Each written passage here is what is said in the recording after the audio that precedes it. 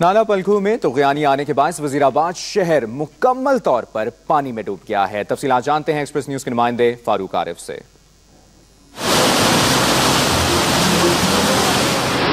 हफ़्ते की शाम पाँच बजे के करीब नाला पिलखू में पचास हज़ार क्यूसेक पानी का रेला गुजरा, जिसके बाद उसके तीन मकामात से हिफाजती बंद टूट गए। फिर देखते ही देखते सैलाबी पानी ने 10 लाख से जायद आबादी वाले शहर वजीराबाद को मुकम्मल तौर पर अपनी लपेट में ले लिया। पानी डीएचक्यू अस्पताल, तहसील ऑफ़िस, जिला कचहरी, flood control centre AC Wazirabad के ऑफ़िस समेत अहम सरकारी इमारतों और लोगों के घरों में दाखिल हो गया। पौष इलाकों में दो से तीन फुट और नशेबी इलाकों में पाँच से छह फुट तक पानी जमा हो गया है। शहरी इलाका जो है ना, सारे डूब चुका है। और ये आप देख सकते हैं कि जो हमारे घरों में ना पानी इस वक्त दाखिल हो चुके हैं सैलाब के बायस समड़ियाल ड्राइव पोर्ट और सियालकोट एयरपोर्ट को जाने वाली जीटी रोड मुकम्मल तौर पर बंद हो गई, जबकि पाकिस्तान रेलवे का अहम तरीन जंक्शन भी पानी में डूब गया, जिसके बायस ट्रेनों की आमदोरफ्त आर्जी तौर पर मुअत्तल हो गई। सैलाबी पानी में बह जाने वाले बारह अफराद अभी तक लापता हैं, जबकि सैकड़ों मवेशी भी सैलाब में बह गए। फौजी दस्ते और रेस्क्यू टीमें इमदादी सरगर्मियों में मसरूफ हैं।